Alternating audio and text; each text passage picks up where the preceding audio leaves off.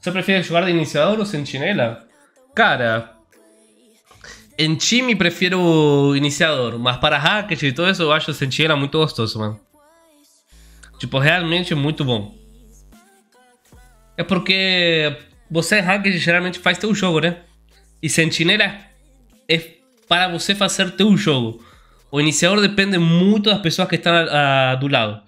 Tipo, eu pre pre preciso muita, passar muita informação para o time, preciso dar muito suporte. Por isso que Caio é tão bom iniciador. Porque Caio permite você jogar sozinho e ao mesmo tempo permite você jogar com o time. Porque tem muita ferramenta para o time.